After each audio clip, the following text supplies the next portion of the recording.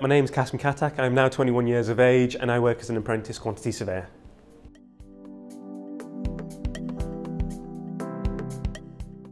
So RLB's been very supportive of me from a university and professional development standpoint. They've been quite helpful and have always given me you know, the advice and support that I've needed if I've ever struggled on any university assignments or anything along those lines. I've kind of been eager to turn towards them and kind of ask for suggestions and anything along those lines and you know, it's been brilliant every single time.